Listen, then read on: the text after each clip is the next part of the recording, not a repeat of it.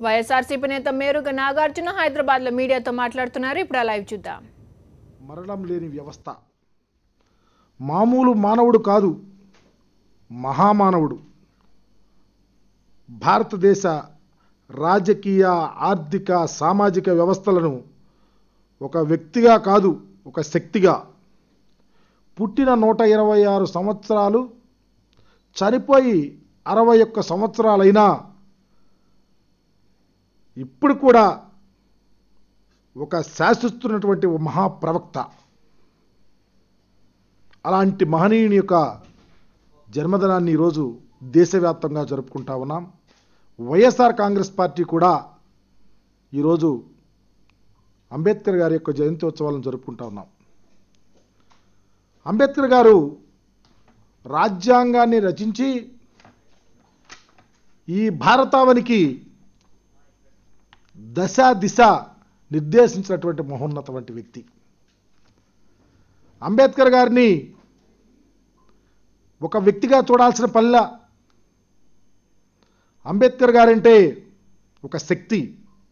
అంబేద్కర్ గారి విగ్రహాలు పెట్టడం అంటే హృదయం నిండా అంబేద్కర్ ఆలోచన విధానాన్ని పుడుకు పుచ్చుకున్నటువంటి వ్యక్తులు పెట్టి తదనుగుణంగా అంబేద్కర్ ఆలోచన విధానాన్ని నడపదగినటువంటి వ్యక్తులు పెడితేనే అంబేద్కర్ గారి యొక్క విగ్రహానికి సార్థకత ఉంటుంది. ఆయన చెప్పినటువంటి కొన్ని విషయాలను కూడా మనం ప్రస్ఫుటంగా కొన్ని మన్నం చేసుకోవాల్సిన పరిస్థితి ఉంది. అంబేద్కర్ గారు they can't make history who forget history. చరిత్రను మరిచిపోయిన వాడు చరిత్ర సృష్టించలేని చెబుతూ ఉంటాడు.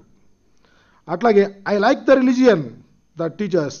Lab liberty equality and fraternity స్వేచ్ఛ సమానత్వం సౌభ్రాతత్వం ఈ మూడింటికి గురించి ప్రబోధించే మతం ఏదైతే దాన్ని నేను అభిమానిస్తానంటున్నాడు అదే ప్రజాస్వామ్య మతం అదే నా అభిమతం.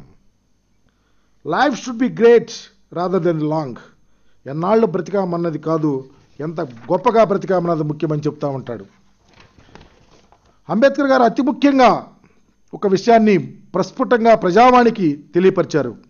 If I find the constitution being misused I should I shall be the first to burn it ఈ మహోన్నత రాజ్యాంగాన్ని దుర్వినియోగం అవుతోంది అనుకున్న రోజున ఆ రాజ్యాంగాన్ని తగలబెట్టి పనిచేసే మొదటి వ్యక్తి నేనేనని చెబుతూ ఉంటాడు. రాజ్యాంగ అమలు రాజ్యాంగ పనితీరు రాజ్యాంగాన్ని అపహాస్యం చేస్తే పరిస్థితి వస్తే నేనుంటే ఖచ్చితంగా తగలబెట్టే వ్యక్తి నేనని చెప్పినటువంటి ఆ మహానుభావుని యొక్క సూక్తిని ఈరోజు ప్రభుత్వాలు ఎంతవరకు మలనం చేసుకుంటా ఉన్నాయో గమనించాలా? ఇంకొక విషయం. Men are mortal so are ideas and ideas needs propagation as much as a plants needs watering otherwise both will wither and die మనుషులు మారి మాదిరిగానే సిద్ధాంతాలు భావజాలాలు కూడా మరణిస్తాయి. ఒక్క మొక్క బతకాలంటే నిరంతరము నీరు ఎంత అవసరమో ఒక్క భావజాలం బతకాలన్నా నిరంతరం దాన్ని మనం భుజానం మోసిన నాడే అది ఎదుగుతుంది బ్రతుకుతుంది అని చెబుతాడు. అలాగే అంబేద్కర్ గారి ఆలోచన సరళిని ప్రభుత్వాలు తూచా తప్పకుండా ఇంప్లిమెంట్ చేస్తే ఈ సమాజంలో ఉన్నటువంటి అప్లిప్మెంట్స్ డిఫరెన్సెస్ అన్నీ పోయి ఈ సమాజానికి పనికొచ్చే అన్ని కులాలు సమానంగా బ్రతకటానికి సమాన స్థాయిలో ఉండటానికి ఆస్కారం ఉంది. అదే అంబేద్కర్ గారు చెప్పారు. అంబేద్కర్ ఆలోచన విధానమే చెబుతా ఉంది. ఈ సమాజంలో ఏ ప్రభుత్వం అయినా అంబేద్కర్ ఆలోచన విధానంలో నడిస్తే తూచా తప్పకుండా వెనుకబడినటువంటి అణగారినటువంటి అస్పృశ్యతలు అనుకున్నటువంటి ఎక్కడో బ్రతుకుతున్నటువంటి కులాలకు అప్లిప్మెంట్ ఉంటుంది. ఖచ్చితంగా భావి జీవితానికి వాళ్ళు వారధిలాగా పనిచేస్తాక ఆస్కారం ఉందని చెబుతారు. పర్టికులర్గా ఆంధ్ర రాష్ట్రంలో అంబేద్కర్ ఆలోచన విధానంలో నడిచినటువంటి ఏకైక ముఖ్యమంత్రి డాక్టర్ రాజశేఖర రెడ్డి గారు. రాజశేఖర రెడ్డి గారు ముఖ్యమంత్రిగా ఉన్నప్పుడు ఈ రాష్ట్రంలో పేదల కోసం బడుగుల హితం బల బలహీన వర్గాల కోసం అహర్నిశలు కృషి చేసి ఆయన పెట్టిన ప్రతి సంక్షేమ పథకము అంబేద్కర్ ఆలోచన విధానంలో మరి ఉపయోగపడినాయి కాబట్టి ఈరోజు అంబేద్కర్ గారి ఆలోచన విధానంలో నడిచిన ముఖ్యమంత్రిగా డాక్టర్ రాజశేఖర రెడ్డి గారిని చెప్పుకుంటూ ఉంటాం. ఈరోజు చూస్తా ఉన్నాం.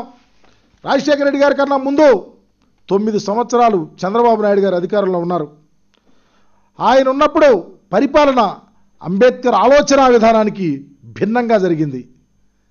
అంబేద్కర్ గారు అంబేద్కర్ ఆలోచన విధానం అంటే పేదవారికి పేదవారికి అభ్యున్నతి కోసం పనిచేయాల? ఒక్క ఇల్లు కట్టిన దాఖలా లేదు.